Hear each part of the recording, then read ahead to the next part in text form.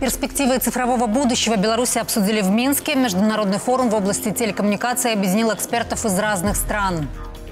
БелАЗ получил крупный контракт от российской компании. Завод поставит 93 самосвала на крупнейшее месторождение угля в Якутии.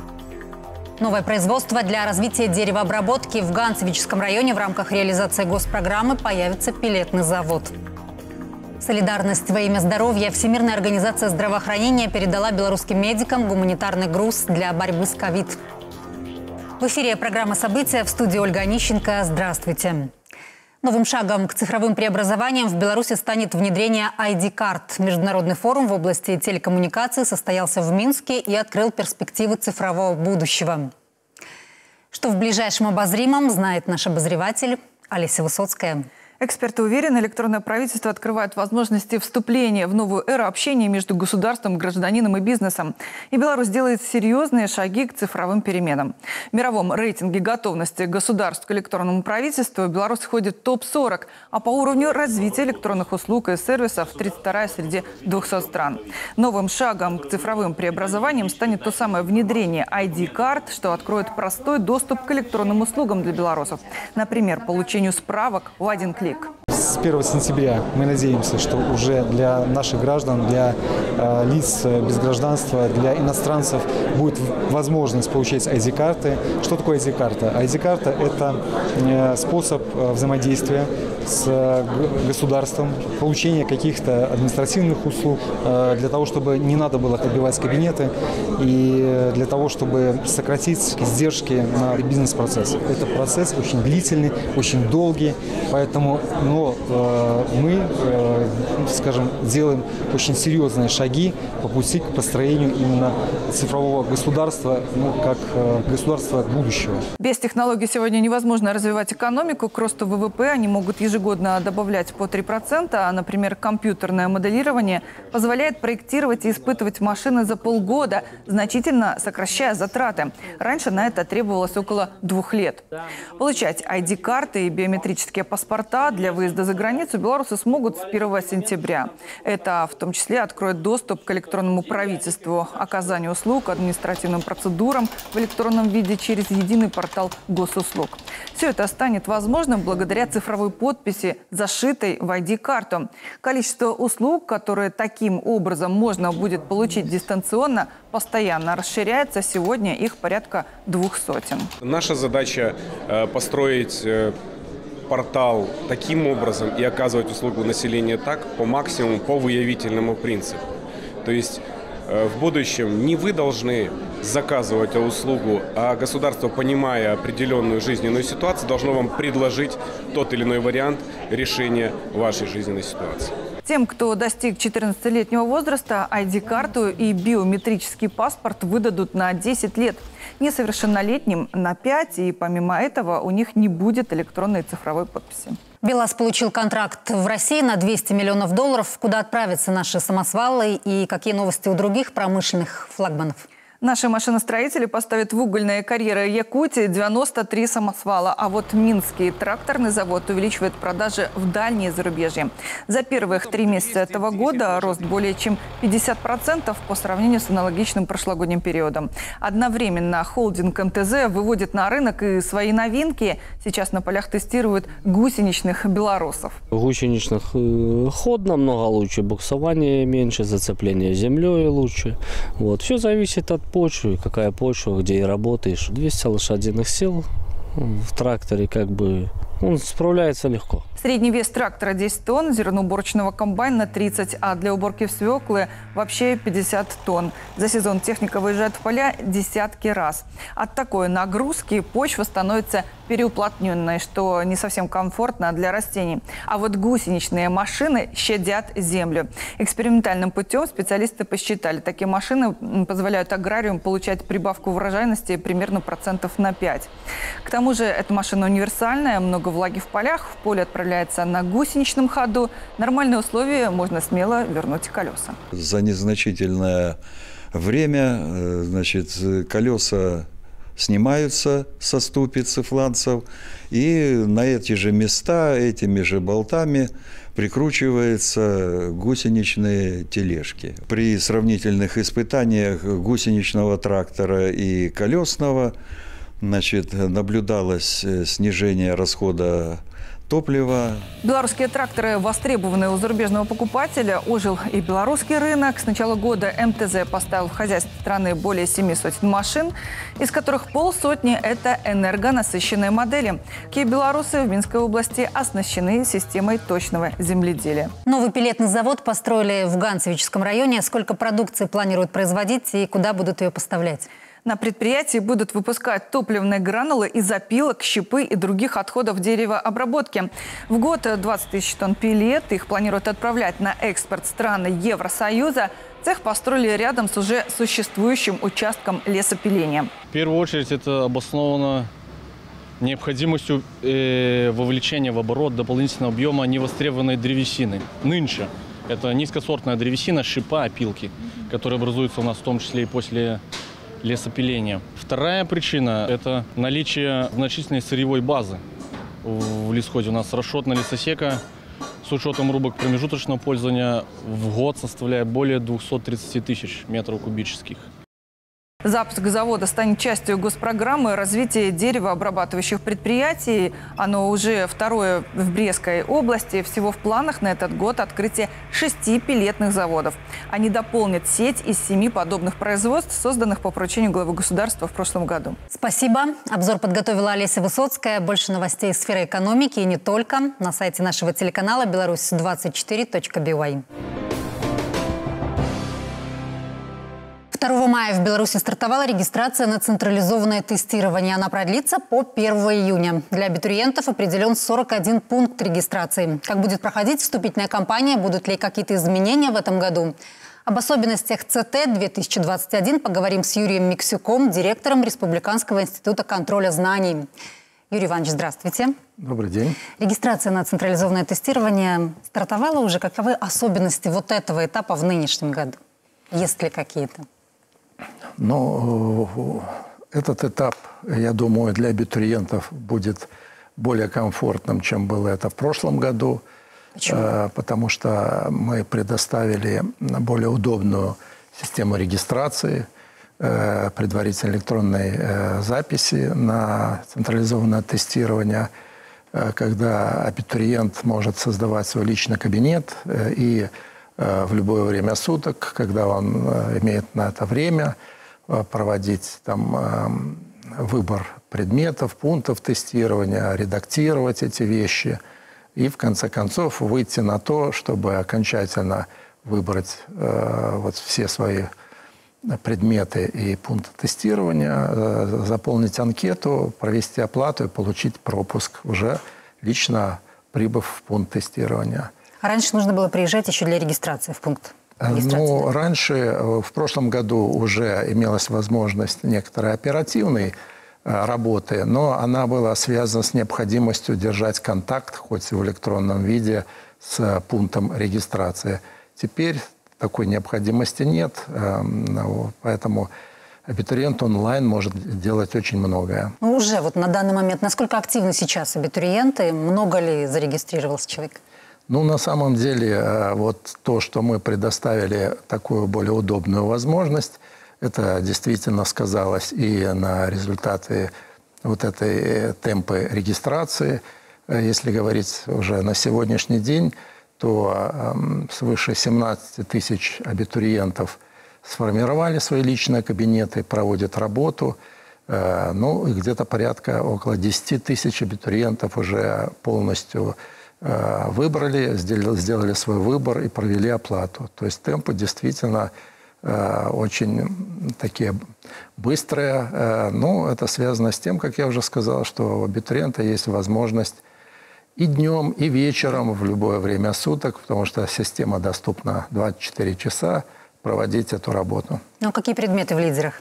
Оказались на данный момент? Ну, тут неожиданности нет. Э, это те предметы, куда больше всего абитуриенты э, и записываются. То есть это русский язык, это математика, это английский язык. Ну, а дальше идет там, физика, биология, белорусский язык и так далее. В белорусских вузах много учатся иностранных студентов. Какова процедура регистрации для них? Э, они могут регистрироваться точно так же, как и наши абитуриенты, если имеют такую возможность. Но многие из них такой возможности не имеют, поскольку э, не имеют возможности рано прибыть на территорию Республики Беларусь. Поэтому у них есть предусмотрены другие возможности. Они, как и в прежние годы, могут э, по почте посылать свои документы. Это копию паспорта и заявления – ну, а уже э, при, прибыть э, в э, республику и обратиться в пункт регистрации на ЦТ не позднее, чем за один день до начала проведения испытания.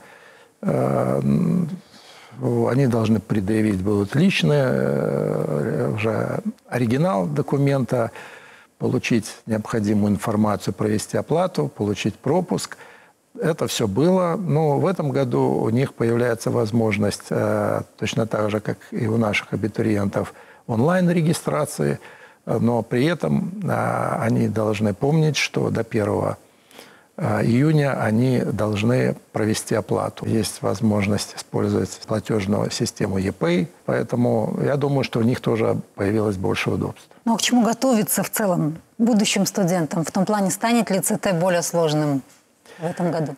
ЦТ более сложным не станет.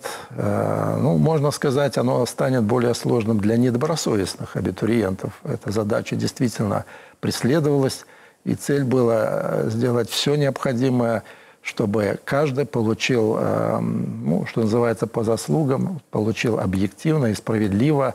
Поэтому знания и результаты абитуриентов, которые добросовестно работают, должны быть защищены – в этой части мы несколько там уменьшили часть А, да, там, где есть определенная возможность э, гадать, там, осуществлять выбор, э, увеличена часть Б, но сделано это непропорционально и э, предусмотрены дополнительные меры. И я думаю, что абитуриенты, э, которые проходили второй, третий этап э, репетиционного тестирования, они, они смогли в этом убедиться. Но мы, по крайней мере, по тем результатам, которые видим, тоже убедили, что э, ЦТ э, сложнее не будет. Нужно просто прийти и показать школьное знание. Никаких дополнительных знаний для того, чтобы получить очень хороший результат вплоть до абсолютного 100 баллов не требуется. Еще один важный нюанс, наверняка для всех поступающих. Изменится ли в этом году пороговое значение минимальных баллов? Пороговые значения не меняются, они сохраняются, как и в прежние годы. Я могу напомнить, что 20 э, баллов э, – это для физика, математика, химия, биология, для, как первый профильный предмет. Они уже могут э, заявляться и участвовать, эти сертификаты, в конкурсе. 10 баллов – это для второго профильного предмета по данным вот предметам.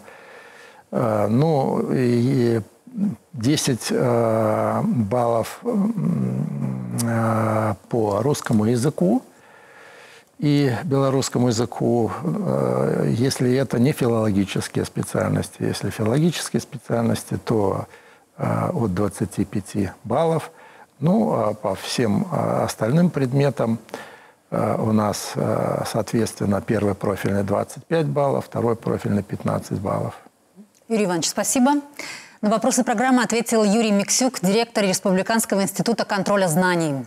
Далее в программе события гуманитарный груз для борьбы с COVID-19, премьер военной драмы и сертификаты вакцинации. Вернемся в студию через несколько минут.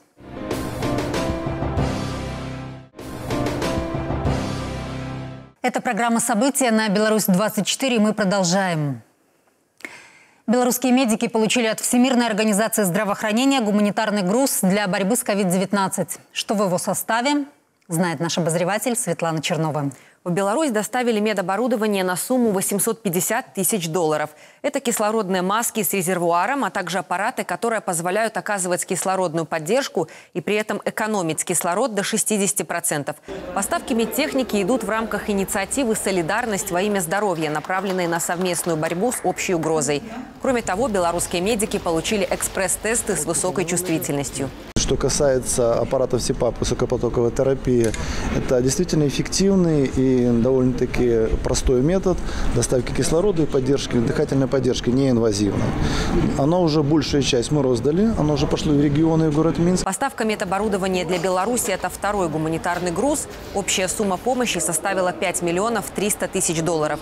Это что касается лечения, тем временем в стране продолжается массовая вакцинация, мера профилактическая – Привившимся белорусам, планирующим выезд за границу, на платной основе можно будет получить сертификат о проведении вакцинации.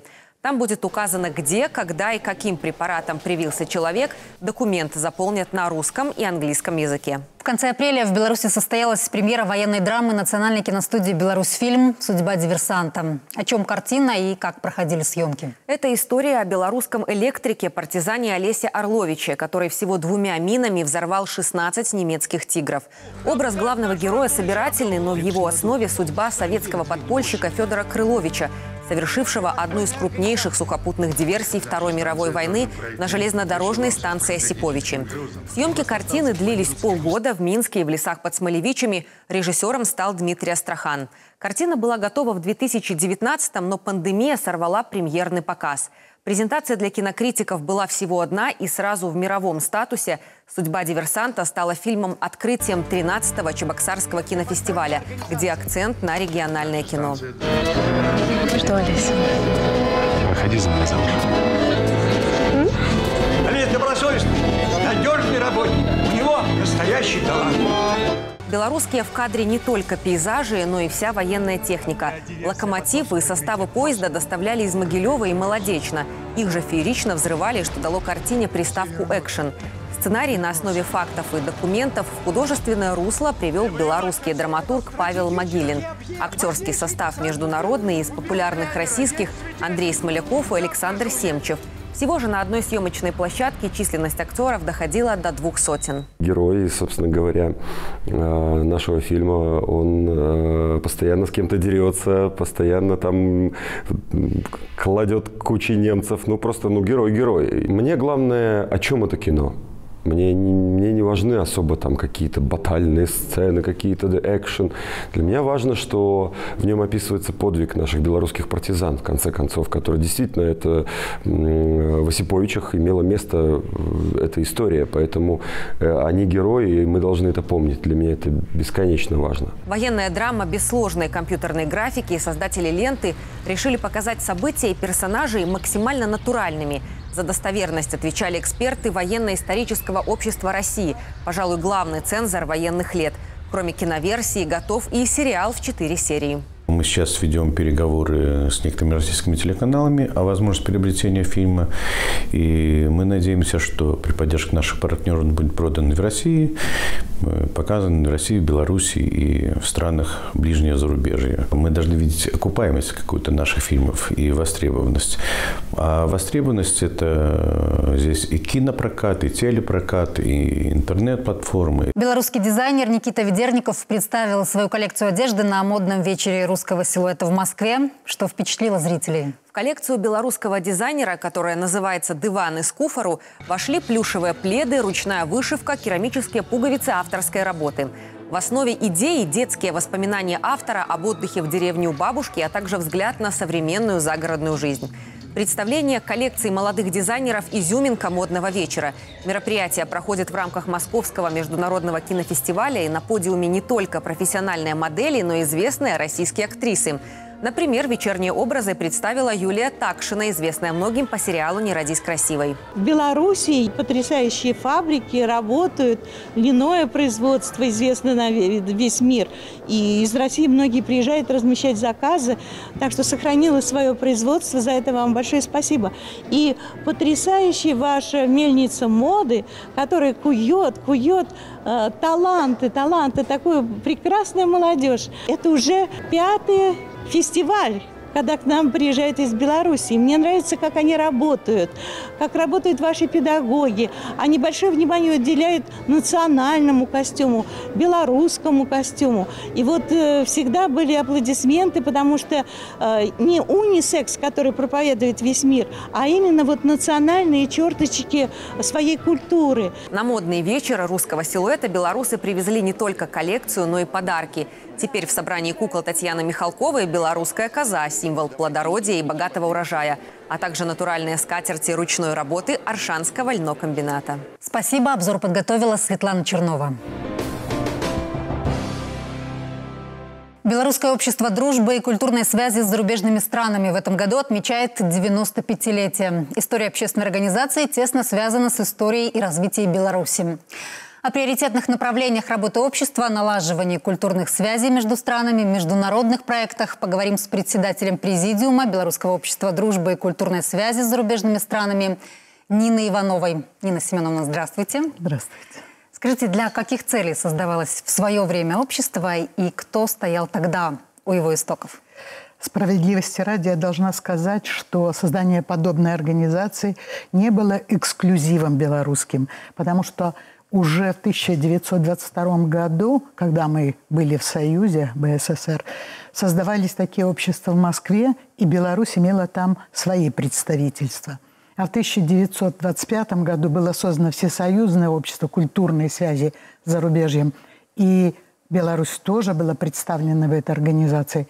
Но создание своей национальной организации, конечно, имело огромное значение. Вы справедливо сказали, шел процесс становления новой белорусской нации.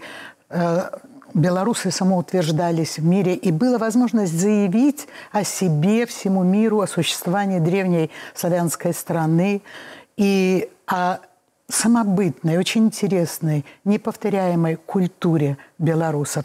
И, конечно, целью организации была представить свою страну за рубежом, но, безусловно, зарубежную культуру представить в Белоруссии все понимали, в том числе и государство, и те, кто создавал организацию, что самый ближайший путь к взаимопониманию, дружбе лежит через культуру. Поэтому э, в основателями общества были тоже в основном деятели культуры, но и государственные видные деятели, деятели науки. Это Янка Купала, Михаил Чарот, Тишка Гартны. Были и юридические лица, например, Инбелкульт. Это Э, такая организация, такой институт, который тогда назывался научно-исследовательский и культурно-общественный. В 1929 году он был реорганизован в Академию наук. Так что своими основателями мы можем гордиться, что и делаем по сегодняшний день. Ну, какие сегодня приходится решать задачи? Сегодня у нас основные четыре программы. Если раньше всегда была культура, мы поддерживаем эту программу, развиваем, традиции остаются у нас во главе угла.